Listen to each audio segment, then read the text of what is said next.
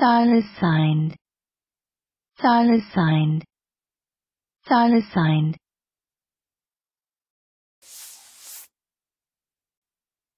Noun. 1.